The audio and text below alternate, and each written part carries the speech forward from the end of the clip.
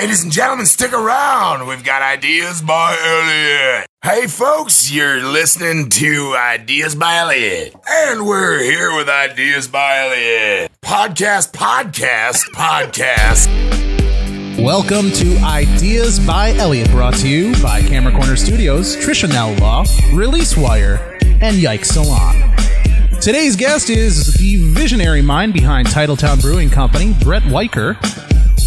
And your host, as always, web marketing guru, entrepreneur extraordinaire, Elliot Christensen. So we have to cancel though. We have to we have to cancel this whole thing because uh, this jerk didn't bring me any beer. That's true. Well, I have a business card I can Like say. like what the hell? I thought I was coming to a school and it's not allowed on the premises. So we, we did joke when we had Z Man on just a little bit ago uh, we, uh, that if you showed up early, we're gonna have a note on the outside that said "Turn around and come back when you have beer." I would have grabbed some. I, you should poke me. I didn't know what to expect. No, it's Yeah. totally fine. I'm just kidding. I, I am uh, giddy with excitement. If you didn't read all my fo- Facebook I, I did see that. uh, praise. Uh, I'm here with the president of Green Bay, the visionary, like Nick said, of the second greatest attraction in Green Bay, Wisconsin. Wow. Thank you for being here, Brent. Thank you, It's good to be here. Yeah. I have a billion questions that I know that everybody wants to ask you. First, we'll start off with probably your favorite thing going on right now. So you're bottling new beers, and you got your new tap room.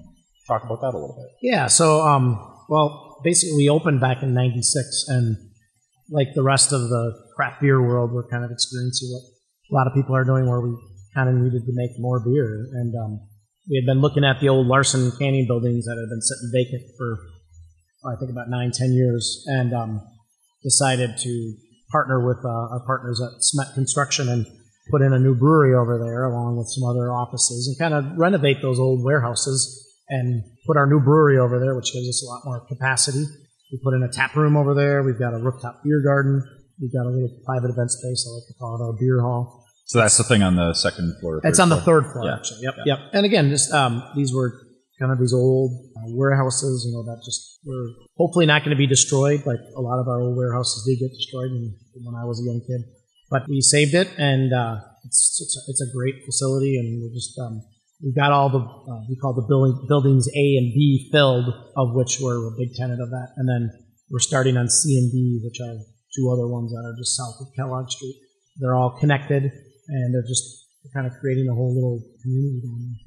I was at the tap room last night, like every night. Yeah, your Yeah. brother was there. And my brother has a, a group that he's starting for. Uh, you think I'm a nerd? This guy is the super nerd.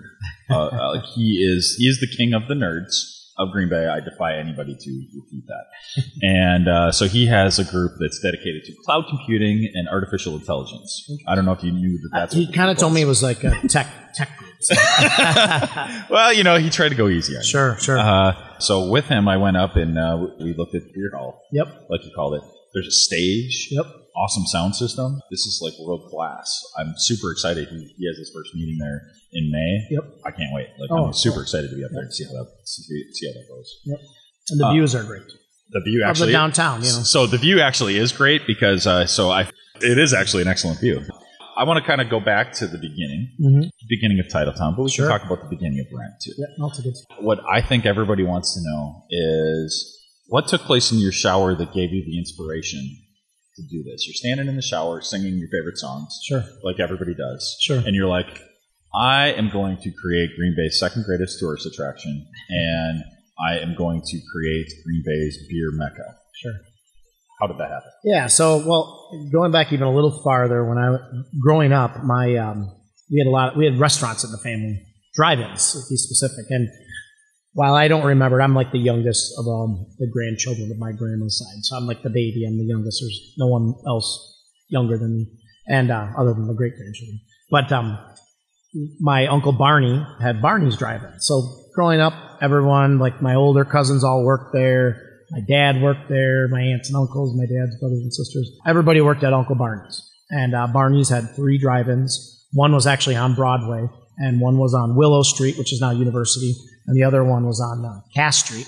The one on Cass Street is kind of where Blacks, Blackstone is, and it used to be right next to the outdoor theater there. And then the one on Willow, which is now University, is still standing. It's a used car shop. And then the one on Broadway, unfortunately, got torn down a couple years ago, which was shame because it was kind of a really cool building. But that was his original site. Anyway, so just kind of always growing up, we, you know, we always had little notepads around the house that were Uncle Barney's order, you know, pads like you could order the Barney burger and malts and shakes and cherry pie and anyway, uh, and then my grandmother owned the Snowcap Drive-In, which was on Velp Avenue.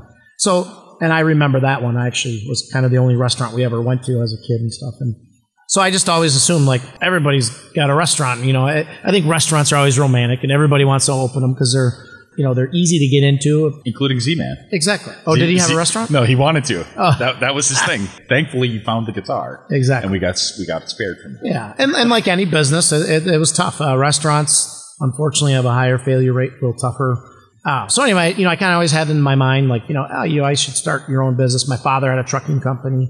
Anyway, so I just, when I was in college, I um, kind of didn't know what I was going to do with my life after graduation. I was dating a girl who's now my wife, Joanne.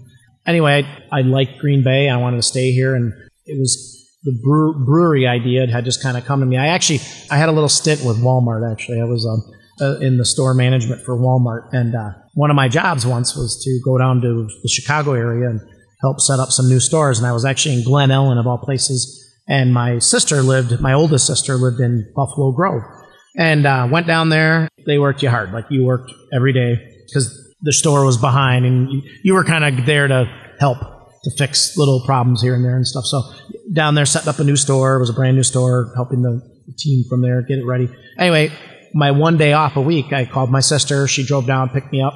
We went in downtown Chicago to the, a place called Goose Island. And Goose Island was in an old warehouse in right near Cabrini Green, kind of a rough part of Chicago at the time.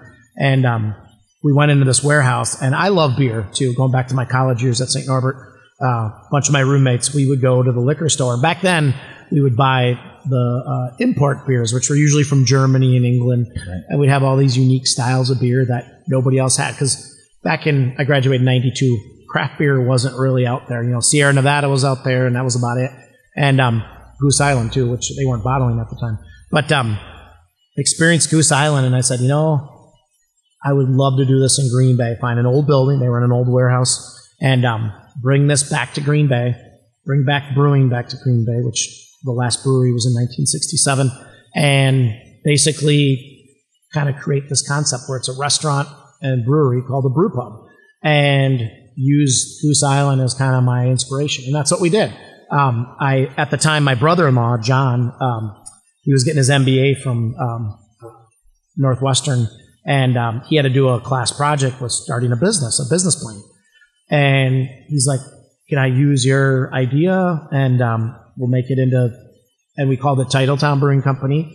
And uh, and this would have been back in ninety, probably 93, um, 94 in that era. And basically, that his uh, MBA program was the beginning of our business plan. And you know, I had never started a business, uh, started a business, and uh, that's where it started with that business plan. And we kind of people. I, I remember going to my my stepdad's. Um, he had a, I think it was his 50th birthday party, and um, one of the guys is like, you know, I told him like what I was doing. I work for Walmart, but I'd love to do this brewery. And he's like, he goes, before you get any older, and I wish I remember who it was because he kind of put me on the path and stuff. But he said, you should do it now before you get old like me and don't want to take any chances. And I'm, I went home that night and I'm like, you know, uh, Walmart was good to me. It was a great company to work for. I don't regret it. But I was like, you know, you had to travel a lot. My wife had a job in Green Bay. Uh, she was my girlfriend at the time. And I like Green Bay. You know, you got to want to live in Green Bay, and I wanted to live here. And my family was here. And um, that's when I decided, like, you know what? I'm going to take the leap and start Titletown Brewing Company. And um, at the time, I drove, or I, I went out, I, I joined this group called the uh, Brewers Association, and they had a conference in Portland. So I went out to Portland, Oregon on a red eye flight last minute. My stepmom was a travel agent. She got me on this flight. I, I, flew to like Las Vegas and then to um, uh, up to Portland, and it was like a nightmare flight because it was late and I don't fly that much, and it was like it was just a night. And I show up in Portland with a bag, and I, you know, I'm not a world traveler by any means, and uh, by myself, and I I walked to my hotel, stayed in my hotel. It was a little hole in the walls, crazy, terrible, and um, went over to the Brewers Conference and just kind of soaked in this trade show, seminars on how to start a brewery, and it really got me going at that point. And while I was out there, I met a guy uh, named John Hickenlooper. Um, for those of you that don't know, he's now currently the governor of Colorado. And um, I met this other guy in an elevator and said, uh, "Hey, we're going to see this guy John Hickenlooper, and he wants to help other breweries start in other cities." And you know, at the time, I was just a dreamer. I was like, I worked at Walmart for maybe a little over a year. That was about all my experience, and I had no money and just a dream. I, I met him, and he's like, "Well, I'd be interested in seeing Green Bay. And, and I, I think there's one of the first things about being in Green Bay. Like, I think a lot of people think, like, oh, they're an NFL team city, you know, they're huge, I bet you. you know, he. Um, Or they have the opposite. ex- You know, they, they hear that it's a small town and they think it's like we're smaller than we are. That's true. Yeah, that's true. So um, he's like, well, let's stay in touch. And um, so in the meantime, my brother in law had to fly through Denver uh, and visited John Hickenlooper. And, and to go back, John Hickenlooper started a brew pub back in 1988, kind of the early years. Kind of, he was one of the pioneers and um, or the uh, settlers, whatever you want to call them. And, but he um, started the Wynkoop Brewing Company in downtown Denver in the Lodo district. In An old warehouse. Uh, Lo- Lodo means lower downtown. And at that time, Lodo was similar in a different category, but similar to Broadway. Kind of a rough part of town. Nobody went there. However, you could go down there and, and get buildings inexpensive, beautiful old warehouses, you know, and he built his brew pub there on, on Wynkoop Street. He turned out he was the largest brew pub in the nation at the time, and they were doing like 5,000 barrels, which is a lot of beer. Anyway, my brother flew through and talked to him, and they kind of over a napkin, like, well, let's, I'll, I'll come out to Green Bay and let's check out the situation. And he came out here and he's like, I'm willing to work with you guys. Let's make something happen. And that was how it started, basically. And, you know, it was one of those being friendly with people and meeting somebody that knew him and connecting with them and probably gave Titletown that legitimacy that we needed. You know, here the world's largest brew pub was going to be our partner. They were half, they owned half of Titletown. Anyway, that's the deal got consummated. We started it. We were looking at old buildings in downtown Green Bay. The depot was actually not even on our, our radar screen, but the depot became available while we were looking. And we're like, wow, that's a great building. You know, uh, everyone who grew up in Green Bay kind of, you're driving downtown, we're like, oh, that would make a great restaurant. You know, it's got the five story clock tower and just a beautiful old building. When it became available, we're like, well, let's try for that. Well, it didn't happen as fast as we'd want it. So we, but we put our hat in the ring and they, the city chose us. Back then it was Mayor Halloin, actually. Uh, Rob Strong from the city de- development, and then Mayor Halloin stopped running. And it was Mayor Jadin and stuff. So we had some really, you know, like, you know, going back to Mayor Halloin, we had some support, you know, that they wanted to see this building saved, and so did we. We were able to save it, and um, 20 years later, we're still in the same spot and also expanding over into the, the Larsen warehouses. What year did this stuff put a, Yeah. put a little bit more of a time? Yeah, sure. So that would be about 90. Um, let's see, we opened in 96, so late 94, early 95, right around there is when Okay. we went. Uh, basically, the city, the railroad was selling it, they were divesting of it. And because of railroad property, it has to be offered to the state, the county, and then the like, local municipality. The city, the state didn't want it, the county didn't want it, but the local municipality, Green Bay, wanted it, and really just to save it. So make sure that it just didn't get torn down because it was it's one of those buildings. You know, it's similar to Lambeau Field. It's very iconic. Matter of fact, uh, I don't know if you had a chance to see Channel Five News and Channel Twenty Six. Like our building is in like the background when the news anchors are talking and stuff. It's it's kind of cool. It's like the courthouse, Lambeau, And I can't tell you over at Camera Corner how many people come in with their cameras, and that's the first place they go shoot their pictures of. Awesome. Yep. Yeah. no, Yep. No, it's it's definitely one of those uh, you know trains and people like it. And it's unfortunately a lot of people, older folks, um, have great memories of that building. Some sad, some happy, and stuff of going off to war. You know, uh, going to Chicago for the first time or Milwaukee shopping, and just uh, real life changing events for a certain. If you're over the age of fifty, you probably remember leaving that train station for some kind of uh, or picking up your aunt or uncle coming them from some faraway place. So it was the airport of yesteryear. It's where you went to travel and leave Green Bay and come back a different person. I'm sure. So kind of take me from those early days a little bit to now, and I guess I'm interested in uh, some of the challenges. Yeah. Well, so you know when we opened back in '96, um, they kind of announced that the Main Street Bridge pilings were rotting and that they were going to have to shut the bridge down. So basically, right after we opened, which they always talk about location, location, location, and and I can't tell you how many people said, Brent, don't go downtown. You know, it, you know, go out to Ashwaubenon, out into the suburbs and stuff. That's where your market is. The people that want to go to Titletown don't live downtown. They're not going to drink craft beer. You know, again, I think a lot of them had good points and stuff. You know, there's nothing wrong with going out to those areas, but I think part of our I don't want to call it our mission, but our just our, our ethics and what we, we wanted to be in an old building and be part of what similar Wynkoop was into downtown Denver. Because real quick too, uh, downtown Denver, where Wynkoop is located. Well, now if you stand out on their patio, and it's in an old warehouse, but they have a patio alongside of it, you can look to the right and you see um, uh, Coors Field, uh, literally a, two blocks away. The new renovated train station is across the street from them. It's now the new all light rail comes in there, and then Amtrak comes there. I mean, it is a hot part of town. Everybody wants to live down there. It's called Lodo. It's just an amazing part of downtown Denver. And again, a lot of people credit John Hickenlooper and his group with making things happen in that part of Denver and stuff. Because it takes a couple of those people. Like I said, he was a pioneer, but he always said the pioneers get the arrows because it's not easy. You know, it, it's it's hard when you're going in there. And I think that's kind of what we did with Broadway too. Again, I grew up on the west side.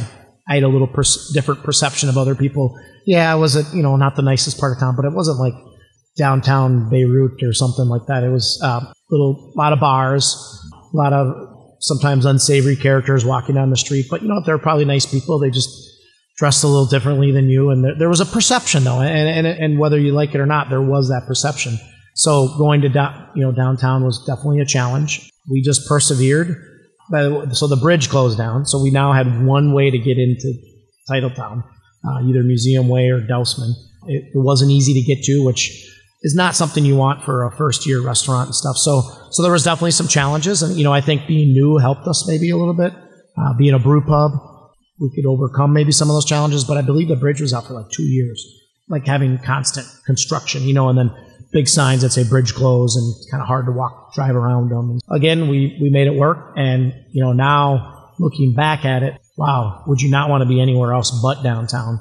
Green Bay? I think the answer is no. We would only want to be in downtown Green Bay. So, do you feel that that challenge did that hurt you a lot? Um, you know, I I think back when I did it, I what I know now and what I know back then, I probably wouldn't have gone there. You know, and it was a challenge. But I think you know you're so new and and that some of those fears don't even come across your mind. But you know, looking back at it, definitely put ourselves out there and stuff. And again, it was one of those things. Nobody knew the bridge was going to be closed down. You know, you couldn't blame the, the mayor at the time. It was Jadin that, that, who shut it down. You know, it just it was it was what it was. In retrospect, you think that you mentioned that's your first year? So every business, when they, things they have a plan, but that first year things change drastically. Usually. Yes. So do you think that that maybe it was a little bit of an opportunity that allowed you to maybe be maybe less popular? Um, yeah, you know, I don't, I don't know. You know, I don't um, remember it never being popular. Yeah, This no, I mean, well, it just, it was just a challenge, you know, and, and again, we were kind of the, you know, the farmers market wasn't going on. There wasn't a lot. I mean, there was only like I'd say Beerntsen's Candy and Scan Home are the two, and I- I'm probably going to miss some really nice ones too. And there was a lot of other like nice businesses down there, but not businesses that like you know there was car part stores and stuff like that. Stores that like not everybody went to, but there was no like massive retail like and I'm like you see now, and so there wasn't a lot of reason for people to go down there. Convention center was mediocre at best and stuff, and the hotels there- there wasn't many hotels, and uh, other than the three big ones there, there was definitely challenges like just that being kind of the first.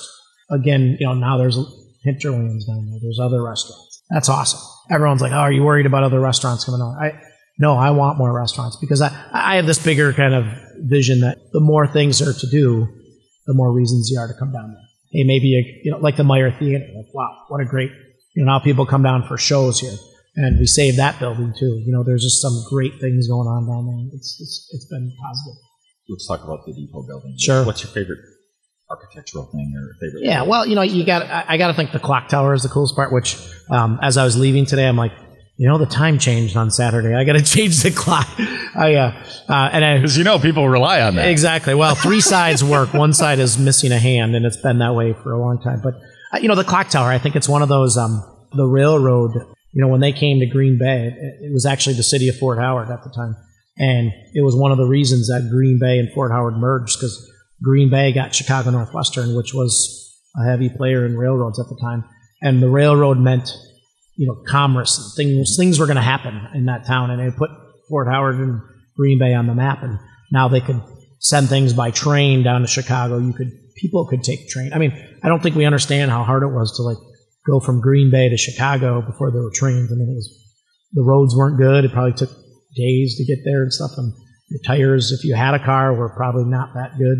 You know, just the clock tower because And you- now and now people come up for the event uh, last last night. Yeah. And then went back that night to Chicago. oh, it's just, yeah, yeah, exactly, yeah. The- now The, spon- Chicago's the like sponsors were from Chicago. unbelievable. Yeah, exactly. It's just like boom, you're you're back. You know, um, you know, th- just the clock because back. Uh, matter of fact, in the newspaper they show the this time 50 years ago, 100 years ago, there was one, and they had like some like tax thing and how many um, how many pocket watches. I don't know if they tax pocket watches, but there was only like hundred pocket watches back in 1897 or something s- silly like that. And I'm like, well, that's because you know the courthouse had a clock. You put clocks on because you didn't go to Walmart and buy a six dollar Timex. You know that you just could, you know, if it broke, it wasn't a big deal. and watches didn't keep good time. So then Exactly. you'd, you'd have to have something to set it to anyway. right? and, and the railroad, uh, uh, God bless them, they they set the whole time. Uh, what do you call it? The time periods and stuff like uh, Eastern Central, and their trains they had to run on time. So that's my favorite part of the, you know, because it's it has no use other than it's got a clock in it. I think about how much brick and money they spent just to build the clock tower. It's just one of those beautiful buildings, but it makes it stand out. You see it in a lot of pictures. You can. It was kind of a, a a beacon, if you will. So now we have controversy with the whole Walmart thing, Sure. and then and then you are now spearheading all the development there. Sure. So talk a little bit about that. Sure. Not to talk too much about the Walmart thing. You know, I work for Walmart, so I I know there's some people that just think they're the most evil corporation on earth and stuff. And you know what? I never felt that way, and I'm always. I think I, I I give them a lot of credit for a lot of like who I am in terms of a business. You know, like just coming over here, I park farthest away from the front door because I want my customers to have a better spot. Well, Walmart taught. I probably would have never done that had I not worked for them. It helped me with that, that whole customer centric outlook in my life and stuff. You know, so I was not against them. I didn't, as someone who likes old buildings though, I just, you know, I did not want those old buildings torn down. However, at the time, you know, I knew on Broadway was going through major challenges financially and Birdseye was moving out and they were going to be left with these buildings. And um, anyway, so I didn't want them to tear the buildings down. However, I I saw the benefit at Walmart. I live downtown too. I live on the east side, right uh, in the Astor area. You know, frankly, it'd be nice to have some kind of store downtown like that for the residents and stuff. But again, I didn't think it was the right spot. But I never want to tell a business where they can and can't locate. Again, I think everything worked out. The city council denied it, and that's it went through the proper channels. That's what the people wanted. So now we're at the point now where um, those buildings are not going to be torn down. We actually just got under contract with the city um, um, to develop those, and we're and again, I, I'm running a brewery and a restaurant. I'm part of it, and that I want good things to happen there. So I want something that's going to be good for our project. We don't want like a a house of ill repute to locate there or something. We're gonna we're gonna work on something that's going to be class act, and I think time will tell. And I can't tell you a lot of things right now because just because we're in negotiations with some other companies, but there's some neat ideas and plans for there that, knock on wood, hopefully. Is there going to be an Apple Store?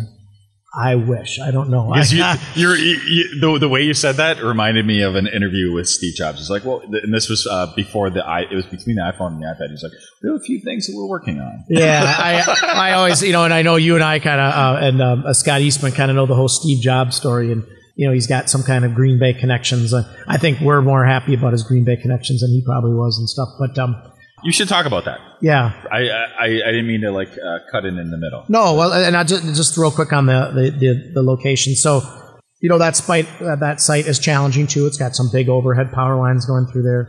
Uh, it's got some contamination in the soil, and s- but um, the warehouses are in really good shape that are there. They're compared to the ones we renovated, which were water was coming through them, and, and still two of them that we're working on right now. You know, they were just in bad shape. These are in good shape, so they're the, the, bone and the bones are good in all those buildings.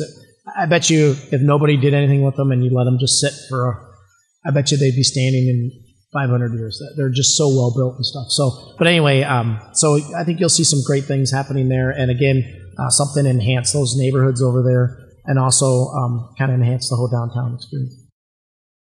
Sponsor break. Sure. And I'd like your views on the studio. And then when we come back, I want to hear you tell the Steve Jobs story. Awesome. Give me your first impressions when you walk in here. Well, this is cool. I actually I remember coming in here when it was a print shop, and so I used to come and we used to before we had a copier and you know you just did everything at print shops. You come here all the time and get stuff printed, and then there was a bookstore here. I don't know if you remember that. It was like here for maybe two years, I don't know. But the guy specialized in military history books, like old books. It was the coolest bookshop. it's a shame to see it go. He was a retired postal employee, and um, I can't. I feel terrible. I can't think of the name of it. Anyway, so it's neat to be back in here, and this is really neat. I didn't realize we had this here, and uh, I know you're affiliated. It's affiliated with Camera Corner, correct? It's Camera Corner Studios. It's Camera Corner what they call Studios, it. and you know what? Camera Corner, they do everything right. So Well, they're another iconic business. They are. Right? yep, Uh, we had Z-Man in here, and Nick is going to help put together, put a video together for Z-Man's performance that he had in here before. So there's uh, he's got a black screen over there. He's got cameras all over the place. He had a handheld that he was going around with. It's mostly soundproof. The only exception seems to be when we have the windiest day of the year. exactly. today.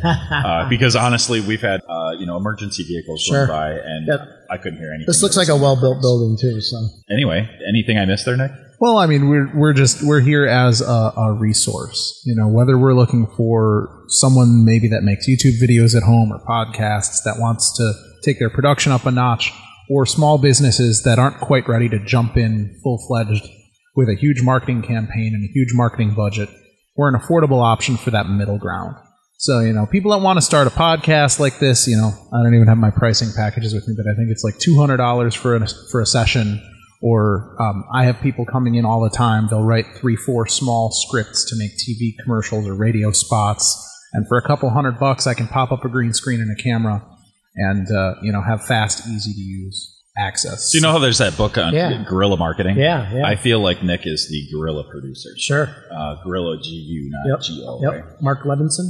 See, this is why he's the president of See? Green Bay, and I'm not. Ah. We've had several po- political people in here, Mhm. and to me, I don't, I don't, I don't know if any of them have taken you up on it, but they could come in here for a couple hundred bucks, and you know what? It costs Sure. a lot of money, even if you're running for a local office. Yep. Thousands of dollars. That Yep. signs. I've done it. They could, uh, they could produce a video for a few hundred bucks, five hundred Right. bucks in and out. It's going to look professional. It's going Sure. to be amazing, and to me, to me, that seems like a much better investment than buying a bunch of yard signs, or at least split the difference and have half your budget into it, I, right? I question yard signs. right. So yeah. So how do they get in touch with you, Nick? And Uh, the any other- easiest way is to call us. You know, we've got the rental, event, and studio production department. Uh, you can reach us at 920-272-0148. I don't say this enough, but I would not be able to do this without Nick. That's the biggest endorsement I can get.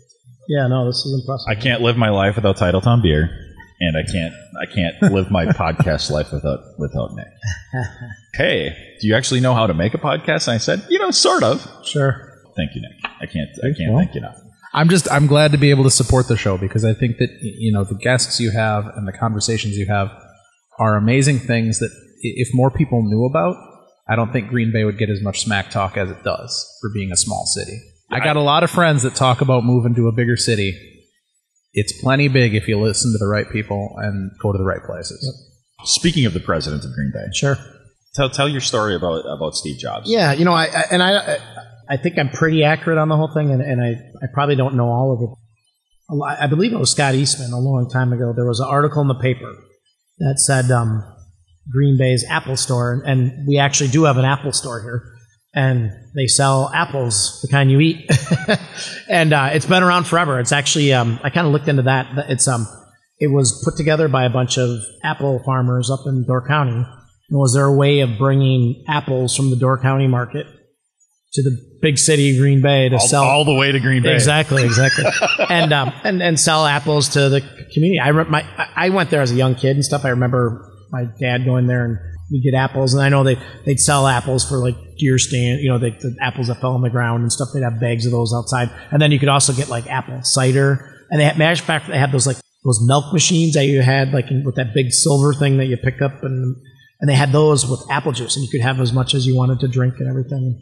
Anyway, I remember Scott had something on about Steve Jobs' connection to Green Bay, and I I was like, you're kidding me. And at the time, I love Apple products, and, or just you know, who doesn't like the whole Apple story and stuff. And I, I just watched that uh, Michael Fassbender movie uh, with my wife a couple weekends ago. That's, Excellent acting, but I felt like it should have been different. yeah, it, wa- yeah, it was a little, it- but it was you know, it just kind of you know, I know they kept referring to like his mother giving him up, and I kept thinking back to Mona Simpson back in Green Bay having Steve and giving him up for adoption. You know, even though they were married because they weren't ready to take care of a kid, and then have another kid later that was Steve's biological sister, uh, Mona, or um, actually Mona.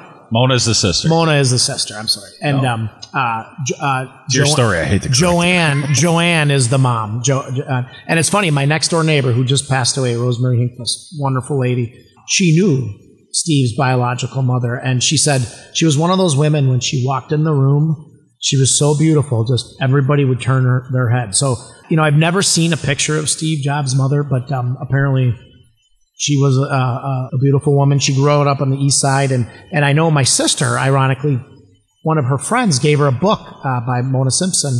I forget the title of it, Letters from Somewhere. But she remembered it was it was about Green Bay, and that's why her friend gave it to her. It's like this woman wrote a story about visiting Green Bay and her parents, and she talks about coming into our train station and going to visit the parents. And they lived actually, and not to get Walmart back in where the East Side Walmart is. That's where they that's where the Jobs or well the um, uh, Steve Jobs biological families lived in Green Bay, right out there. And um, but she had this certain smell of the house, her grandparents' house, and everything. But anyway, she grew up then on the uh, the west side. Ironically, with one of our, our employees, Kat, who's our day bartender. Kat was next door neighbors to Mona Simpson and Joanne Joanna Simpson. Anyway, they were a very really fun couple. She remembers that Steve's sister had a pet raccoon. That's how she remembers of her and stuff. A neat little story about why you know um, this boy who was born given up for adoption. They kind of came from this family that just seemed to be go-getters. Like the daughter did well, and the parents were really smart too, and and kind of revolutionized. I'm looking around right now. You've got a Mac computer. We both got Mac phones, you know, or Apple phones. So I'm kind of an Apple addict. yeah, I've watched every documentary. I've watched every Steve Jobs YouTube video. Sure. I, I have a sickness. sure. Yeah. So you, you you were talking about the beginning of Titletown, and you said somebody was at uh, you were telling the story of the party, 50th birthday party or something. Yep. So somebody about our age now uh, was saying, "Get into business while you're Actually, he was a little older than he, he was older. Yeah, I- you know because he said he'd wish he'd done things that. Okay. Fine. Okay, so I'll postpone this question another Sure. 10 years. No.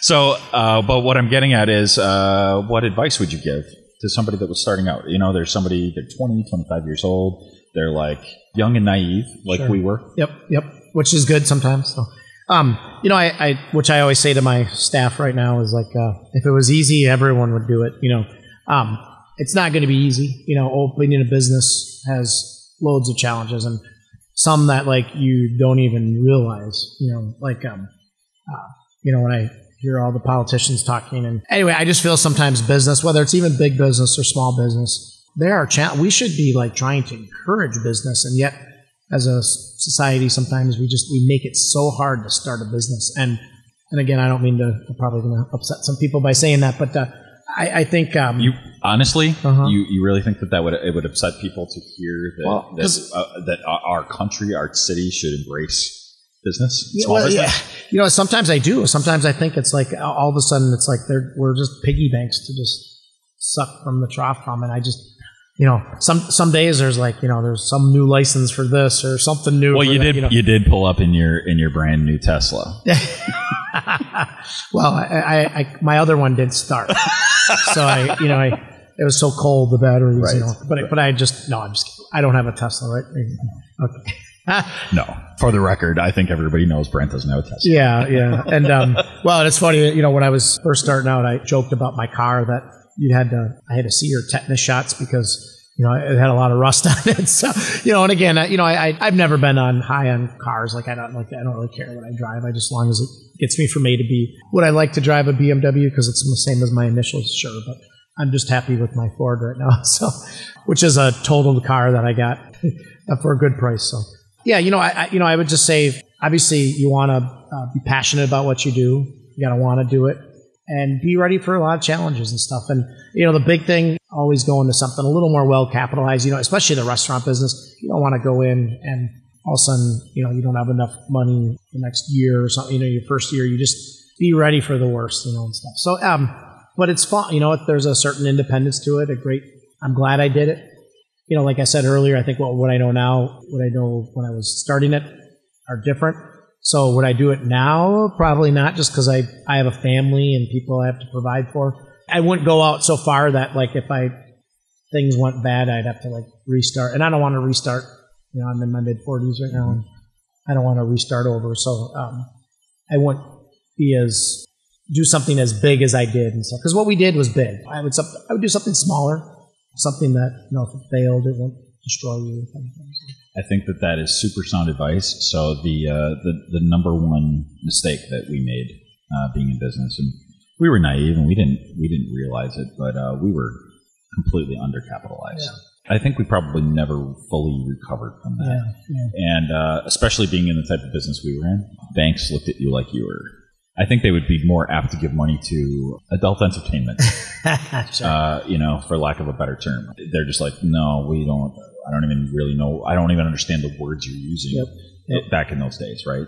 The capitalization thing, uh, yeah. I think, is something that entrepreneurs really undervalue. Yeah, no, you're right. Every and uh, so Z-Man was here just a little bit ago, and uh, so he was. Uh, you know, I asked him a very similar question. I think that that would be something that we would all say. All entrepreneurs would say, "Boy, you have to love it because on the good days, that's going to be amazing, and nothing's yep. a better high than that. Yep. But on the low days, boy, if you didn't have that, no, yeah. you, you would quit. Yep, you would quit hundred times over, right? The passion thing, I don't think it can be said enough, but I think that that is something that successful people, I think, all have to share. Yep. One thing that I said to Z-Man was, uh, I heard just recently that Warren Buffett was asked a similar question, mm-hmm. and he said, "Okay, Nicholas said the 25 things you like doing the best." and then throw out the bottom 20 because you will never be able to make a business out of those. Right. I think that those are the, the types of that's just a nugget that I'm never going to forget now that I you know when I when I heard that. So what would be another what would be a thing like that? What what's one of those thousands of people are going to listen to this. Mm-hmm. I guarantee you. Sure. And they all want to know what is the Brent Weycker secret formula for success. I, I think a lot of it is like you got to have a real supportive family. Like my wife is awesome I, I always remember back when we first started it, and you know, I had a job, and I quit my job, and we weren't married yet, and then I was getting married, and, and I'm like, I'm like, your father must just love me. Hi, I'm going to marry your daughter. By the way, I have no job. you know, I, I want to start a brewery. You got to have the people that are around you supportive because you're going to have a lot of challenges. So you want people positive. And from my wife right to my parents, both my parents are divorced, and but they both uh, you know, if you're uh, John Hickenlooper said, you know, when he asked his mom to invest in his brewery, and she said no, and he had to convince her. But that was, a, you know, you knew when his mom finally convinced his mom to invest in his brewery that you know he was on the right track and stuff. And you know, my parents both helped. You know, we're they're still owners to this day. I unfortunately lost my stepfather last year, but um, you know, they were part of it, and they, and it's just it's good having that support network because you know I can't tell you how many times you know. Uh, whether it's TripAdvisor, you know, you just you always get beat up, and it's like so you need some positiveness, and you're like try to always find that because, like you said, it, it, there's a lot of things that'll get you down every day, and, and I catch myself sometimes letting myself get too down, like you know, I I take criticism a little too tough, and maybe it's a good thing too because restaurants, you know, like everyone has their own issue of what service good service is and stuff, and you have a lot of a lot of my staff members are young, and sometimes they want to get out of there at the end of the night they don't treat my guests as good as I would like them to be treated. And, and, and again, does it happen all the time? No. It happens sometimes, sure. You know, my thing is just have that real good support network around you that's positive and they're your best advocates. They're the ones that are going to pick you up when you're down and stuff. And that's, that's definitely my wife and my, my close family and stuff. I don't know if it's just because I'm there and I feel like you treat me special, but I, I, I don't think it is. I think that everybody that goes into into Titletown feels like they're treated special, Yep. which is not normal. No, and I- you know, I, I I think that goes back to being an independent. Not that not that other restaurants can't do it. And, you know, that's why I always tell my staff too. Like everyone can make food. Even everyone can open up a brewery.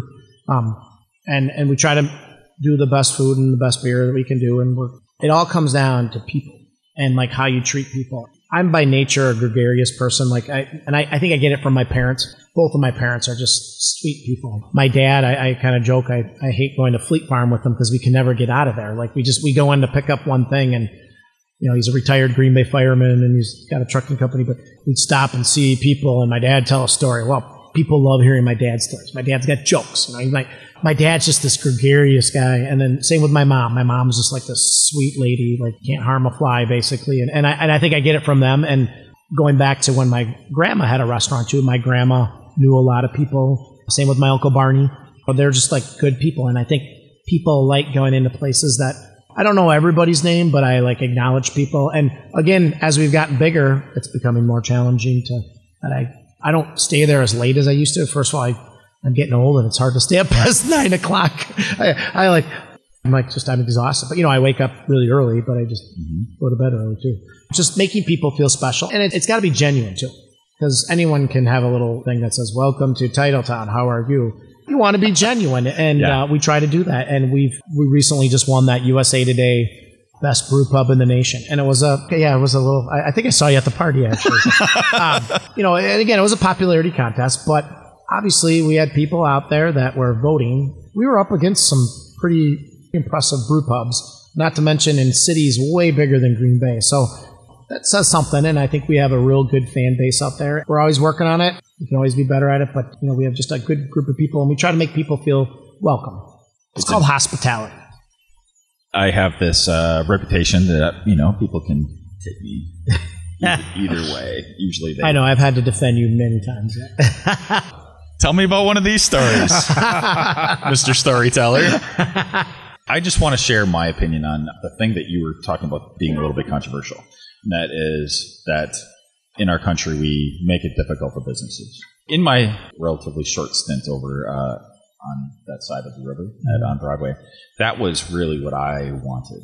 I want, I and I still want that out of that area, out of your area now. Sure, sure. Um, uh, I want that to be our entrepreneur corridor. I want that to be our.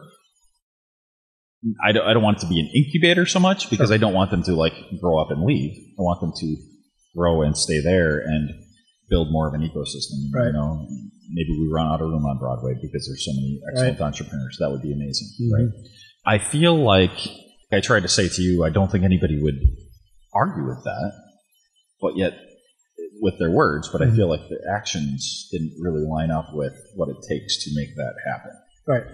From talking about what we should spend our limited budget on to the events to you know the actions, everything I looked at, like you would, through a lens of how will this make our businesses stronger? How will this make our businesses better? How will this attract new entrepreneurs to our area? Sure. That was everything that I wanted to do. Just the other day from now, when we're recording, there was something in the press gazette about the three downtown districts merging. Oh, sure. And I guess I just want your brief thoughts on that.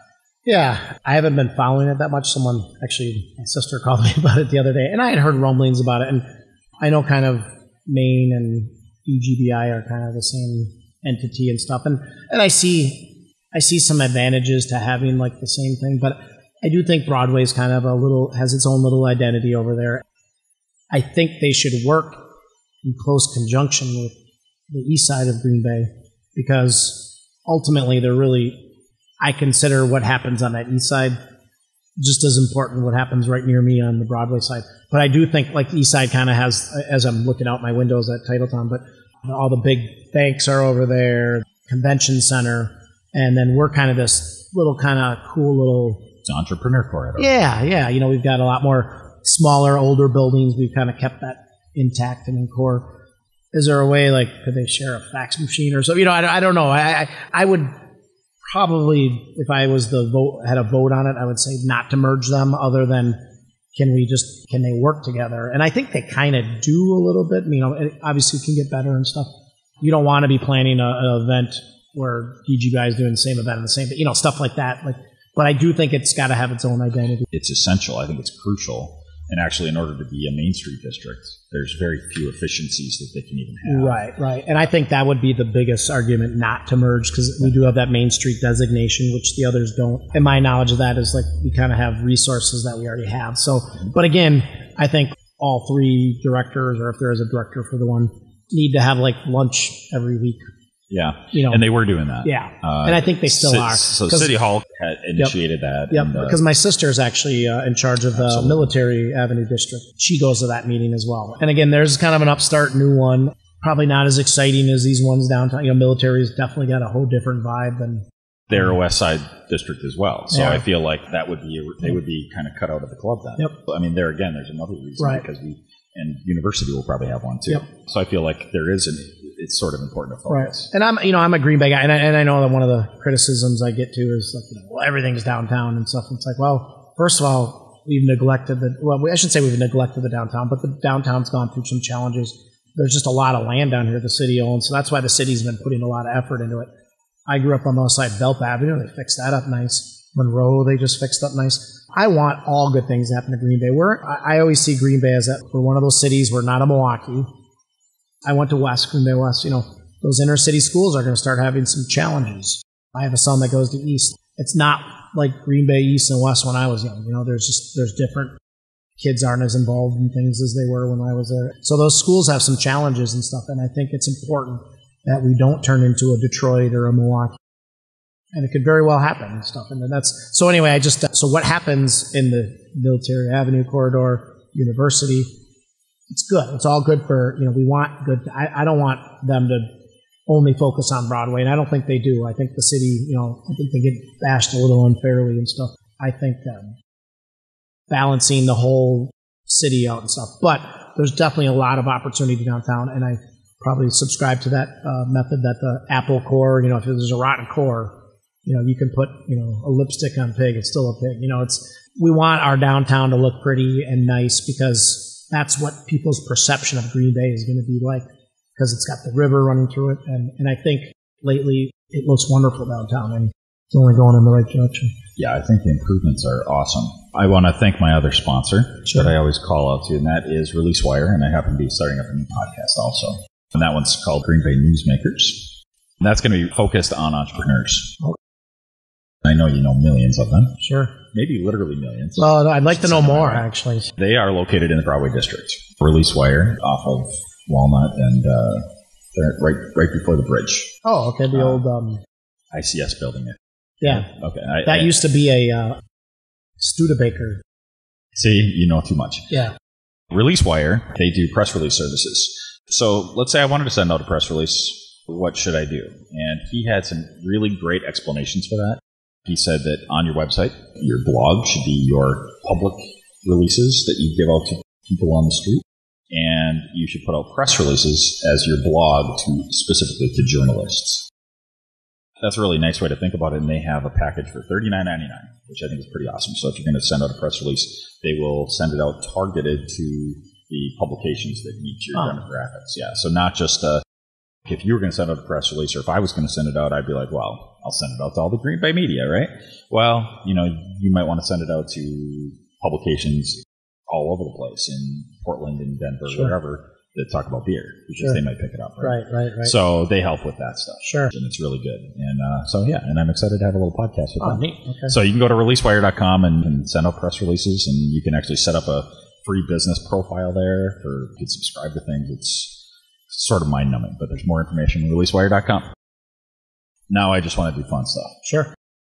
What is your favorite? Uh, what's your favorite entree on the Titletown menu? Yeah, that's a great question.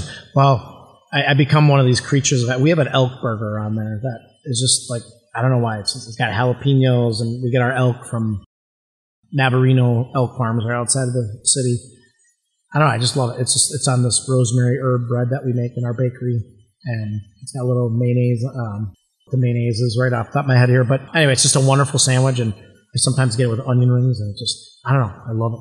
The elk burger with onion rings. Yeah, and then I'd say my nice. second favorite is our fish and chips. It's just I love fish and chips. Been on our menu since day one, and actually, other than a hamburger, hamburger is still our best seller, and, and the elk burger is up there too. So everything that's the number one sellers. So I'll just put them all in one of our, our burgers, and then the two and three seller are small fish and chips and large fish and chips.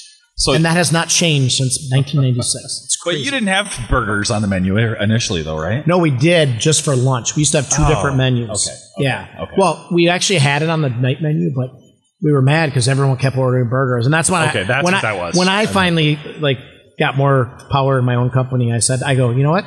If that's what people want, let's give it to them. So, I remember you saying, yeah, you know, and it's just like it was one of those goofy things. They Like, order wow. it anyway. Yeah, exactly. It's like, okay, we're going to make it for them anyway. And if people want that, and that's when we started actually, because we kind of had like at night a little bit more, I don't want to say a high end menu because we've never been really fancy schmancy kind of place. We had a lot more pastas and stuff like that. And I'm like, you know what, let's be more of a pub play. We're looking at what our best sellers were. And we were, we're pulling, you know, like pulling them off the menu for night so people want to order them, but yet they'd still ask and we'd make it for them anyway. So why don't we just give the people what they want? And that's why we still have fish and chips and burgers on the menu. So burgers still great. Please don't lose the pretzel That is a wonderful pretzel. Wow. and it's- don't lose the brat plate. the brat pla- Okay, Those- that one's been not a good seller, unfortunately. Yeah. Really? Yeah, it's actually our worst seller. I That's just- unfortunate because it's Yeah. amazing. I know, and everyone's like always wants a brat, and then I don't know where else you can go for Belgian trippe, Yeah. Oh, that's right. right? I mean, you put trippe in the in the wrap. I, I'm sorry, I was there this weekend with my parents, and I'm forgot like, about that. you have to try an entree and two apps. You can tell he's from Luxemburg, so Is poutine still on the menu? it is. Oh, yeah? That's our Yeah, don't take that off. after cheese curds. That's our second best seller. Cheese curds. We go through so many cheese curds. It's crazy. Can you put a number on that? Like how many we sell? Yeah. You know, I, I just don't know off the top of my head. It's Like, like it's not even close. Like- Like, poutine is a lot. I, I want to say like um over like 600 orders, and that's like a like it's our new menu, so it's only been on like a month. so I know it's a lot. So the next Yeah. time we talk, we have, we have to have okay, I will. How Yeah. many pounds and how? Oh, and- I. Yep, I got or you. how many Lambeau Fields could be filled up? exactly. Okay. Yep. yep Well, definitely. and it's so funny too because my sister in law moved to Cincinnati, mm-hmm. and we went to visit her, and we went to a restaurant called Senate. They they do like gourmet hot dogs. Oh, sure. And they had poutine on the menu that listed cheese curds. And here's this Wisconsin girl who moved to Cincinnati. She's like, I want a cheese curd, right? So we order it, and it comes, and they're all melted because they don't fry their curds. Oh. And she was pissed. Well, that so that's what poutine is. They actually put the curds on the fries, Yeah. and then they put this gravy on. it. It's a Canadian dish, and and there's all different. Like we had some someone that was mad they didn't like the way this this isn't the way poutine. But if you go look at there's different poutines. Yeah. Sure. people put meat on it and stuff. But it's a it's our little take on poutine. No, it's it's a, yeah, it's a wonderful dish. So now, favorite beer. Favorite beer. I um we first opened. It was Johnny Blood. I just always liked. My, it's my mom's favorite beer, but I started getting into our IPA, our Green 19. We use a hop in it called Citra, and it is just wonderful. However, lately I've been doing the Pilsner, and we and I'm not just saying this because these are the three we bottle, but the Pilsner just I was going to say those yeah. are the three popular. Yeah, they ones. are. But the, the reason we po- uh, bottle them is because they're our best sellers. Now the the Pilsner was we won a gold medal with at the Great American Beer Fest. It's Boathouse Pilsner. Great little story. Dave, our head brewer, was in the town of uh, Pilsen, Czech Republic. He stayed at the Boathouse um, hostel there, and that's where he had his I- first I did not realize that. Yeah, so that's why it's called Boathouse. That's fantastic. Anyway, wonderful pilsner. So I'm kind of I kind of into those hoppy light beers right now, but definitely the Green 19. I just and when it's fresh, it is just. Do you have a preference, like summer or winter? Um, you know what? I'm kind of a year-round Green 19. My wife loves IPAs too, and, and actually my mom who likes Johnny Blood's kind of like. She even told me this the other day. She's like, I think I might liking IPAs more and more.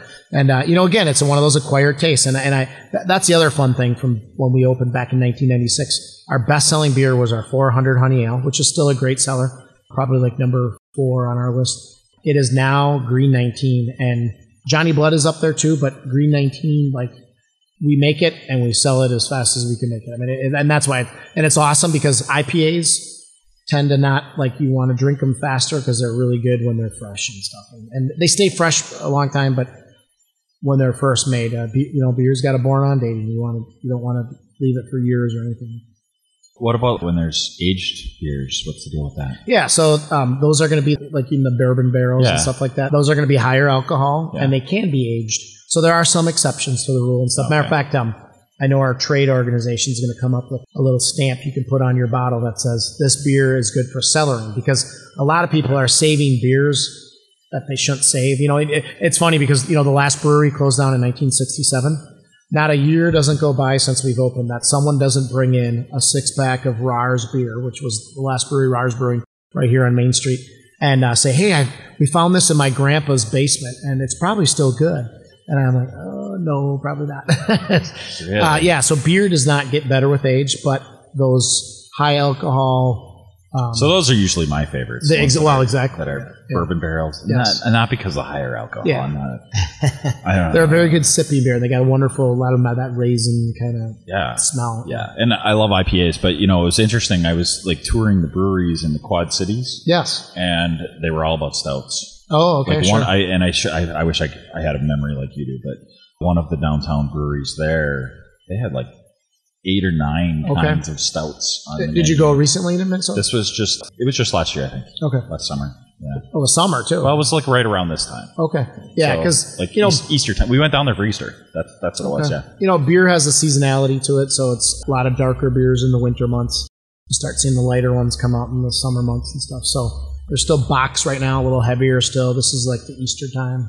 Bock is a very Well, it's weird, but the people in the Quad Cities they were acting like IPAs were kind of over. yeah. That, so it's weird how yeah, I, think you're going to see pilsners are coming as like a hot style now too. Yeah. because the IPAs are definitely I like them, but they're definitely on the coast. They're starting to go away from IPAs now, and that's where really California and it was everyone was trying to out hop everyone else. You know, sixty minute IPA, ninety minute IPA. You know, as much hops as you could throw in some of those, and I think a lot of people are just kind of sick of that. A little too much on the taste buds. So now, Lambeau Field is number one. Yes. Titletown Brewing Company is number two. You're the I, I just say that because you you you say it all the time. So. It is established. This is fact now. Especially, oh my God, with the new tap room. Oh my God. Yeah, the tap is- great. There's no question. You can't deny it now. It is the number two. I know you tried to deny it, but Sure. there's no denying it. So what's number three? Oh my, So if when you have people from out of town, yeah. you know, they go take their picture in front of the Mhm. statues at, at, Yep. at Lambeau Field, and then they and then they come to lunch at Titletown and have beer, and then what? You know, I, I send a lot of people now, and this wasn't always this way to Bay Beach Yeah, because they have the Zippin Pippin now, and I think that Zippin Pippin is just kind of cool to go see this old wooden roller coaster. That's probably even if they don't have kids and stuff, because I'll tell them the rides are more. it's a kids. buck. Yeah, it's like, and again, I asked them, "Do you like roller coasters?" Otherwise, um, uh, I encourage them to take that Packer historical tour. I'm just trying to think if there's like one spot. I, So uh, what would be the what's what's your next favorite restaurant? You know what? I like. Um, gosh, I'm gonna get myself in trouble. Well, We got a lot you, you, you, you could you could throw in a couple of them. Yeah, well, and Whatever. you know, I, I live downtown, so Yeah. like when I'm on Fridays, like when I'm done at Titletown, we'll go to St. Brendan's for fish. My wife and I like fish and chips. Like, Yeah. There I go again. Frank and Pat's Pizza, wonderful place. yeah. The buffet during the weekdays, like when I go with my brother, they lose money. My brother just he loves that place, and yeah, that little salad bar. I love the little salad bar. So too. two great places. What you might not know is all four of my brothers worked at Frank and Pat's. Really Yeah. well, and actually, um, So I felt like that was our family restaurant. Sure, yeah, no, and uh, well, Pat, one of the grandsons, worked for us too. He lives in Australia now, but um, uh, great story. And then the old owner, um, he passed away unfortunately, cancer. His daughter comes in every Monday. Uh, just a great family and stuff, and they make wonderful pizza. There. It's that kind of old thin style, Green Bay style, that, with those fresh mushrooms. Right? Oh, Mounds of them. I love them. Yeah, I do too. I, we should go there right now. I, I'll go. I'll go. You want to go? I might. Okay. So I know, I know, I kept you too long. No, no, don't look at your I, no, I just like Now, favorite non-title town beer. Favorite non-title. These are the questions the people want to know. Yeah, exactly. No, it's a good question. Bell's Two Hearted Ale was like one of my favorite. It is. It's wonderful. Like I always say, it gives you the greatest burps. Like you just like you That's burp up true. the hops. Yeah. um, otherwise, you know, Sierra Nevada has always been like a, a, a big favorite uh, of mine. New Glarus, um, the cherry beer, the Belgian red, awesome. I know I'm, I'm part Belgian, so maybe that's part of the reason and stuff. That's just a wonderful beer too. And those are the ones that I have in my refrigerator. So I do every so often buy a cheap beer, and I make micheladas. They're like a Mexican, Sure. with kind of it's like a salty beer, salty mm-hmm. limey beer. and you just gotta buy a like a Miller a Budweiser and just mix it in with. It I forget my, my my brother does something like that, and yeah, he has. He's like, I can get so many of these for five dollars or whatever. and He gets the cheapest, most horrible Yeah, beer. yep. But yeah, he makes Yep. them like that. No, and uh, you know, I, I- everyone always thinks like you know, like uh, you don't. I I don't rip on all the major beers and stuff, and because they make a beer like uh, you know, it's kind of like ripping on McDonald's food. You you know what you're going to get every time. You know, Yes. they they make a consistent product. Budweiser's got a brewery in St. Louis. They got one in Jacksonville, Florida. Well, the beers taste the same. They have this consistency that, and they're you know, frankly, are good companies and stuff. But we brew pubs start to offer these other uh, flavors that the big guys just don't mess with. I never. I, I remember when I was out at Wynkoop training, I was with one of the brewers, and he started drinking a Budweiser in front of me, and I was like, I go, "You like Budweiser?" He's like, "You know what? Can't knock these beers. Every so often, it's good to just have a Budweiser." so, Absolutely. yeah, So, any closing thoughts? And then I just have one closing question after that. yeah. No, this is neat. I um, I've been seeing you doing these interviews, and like I said, I unfortunately haven't been listening to them, so I'll have to get on that. Well, I I, do a lot of podcasts, and I got I have to start being like. Unfortunately, I got to listen to them late at night, like when you know, because like some wonderful ones out there and stuff. I have some I should recommend. Favorite? Pa- what's your favorite podcast? Clark Howard. He's one of the best. Clark Howard is uh, he's like a financial kind of uh, uh, consumer advocate. Awesome. Like I learned more from Clark Howard than I did in all my high school years of you know consumer ed and stuff. And I'm, there's one here, and I just have to. I don't listen to it as much as I should. Um, the stuff you miss in history class. Uh, I love that. It's a great one. Yeah, those are good. Um, and then um, the pop culture happy hour. I gotta start listening to that one more because I'll hear about movie stars and I have no idea who they are, and just like it's just good to kind of keep up with current events, so I'm not one of those you know old guys doesn't know everything. And then I'm in that business where I deal. My, a lot of my staff is young, and then WTF with Marc Maron, love that. awesome. Like you know Yeah, I the dead Mark letter. You know, actually my bad. The 99% invisible. Too. Also love 99% Wonderful. Invisible. Wonderful. Yeah. You know, like where does a letter go when it doesn't get delivered? Yeah. There's a place for that. You know. So if you didn't already listen to that, that would be one I would Yep. totally recommend. And then Yeah. two other ones, real quick. Freakonomics. love that too. And then this one, this is kind of a bizarre one.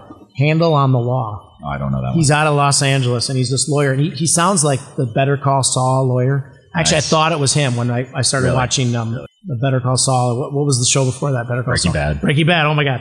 And uh, I thought it was him. I'm The like, greatest show of all time. That's that's uh, he, he's like he, he says he gives you uh, terrible legal advice and he tells you that you have no case. And it's just it's so funny. He's like Nice. people he'll rip on people and they don't even know. Final question. Sure. When you come back and you sit on this side of the table, who do we have sit there? Vince Zarin. He works for Schro- well, he's retired. He's a cheesemaker. You know, I think it's one of those things that we live in Wisconsin. You know, and I, I don't know if you just heard we won the best I did. cheese in the, the world, and we are always winning. And I think we don't realize like you go to France and like, oh, well, the French have the best, and the you know Italians. We don't realize we've got world class cheese here. Well, Vince grew up as a cheesemaker. He's an older gentleman, but he's just he would be fascinating because he understands how humans took milk and converted it into something that we could Make save, awesome. yeah, and, and make all these unique cheeses. And he understands it. And I, cheese making fascinates me. It's, it's like beer, it's fermentation, but it's even a little bit more unique. We're all about winning here in Green Bay. We are. We're a Yeah. great city. You know, we got a good town. We're, we should be proud of. You know, can we be better? Of course, I always say that. But um, you know, we got a nice place here. We have the number one brew pub in the world. I know that the thing was only in the country, exactly. yeah. but I'm going to say in the world. and that was USA Today. it was. Yeah. So, we're very happy. With that. Everybody should Google Yeah. that. So thank you, whoever did vote for us and stuff. I, I, I voted 15,000 times. I saw that. Yeah. so thank you, man. Thanks, Elliot. It Brent was a Weycker, pleasure. President of Green Bay. Don't forget to run over to iTunes and Stitcher and give a rating and review of the show. It helps other people find us. Cheers.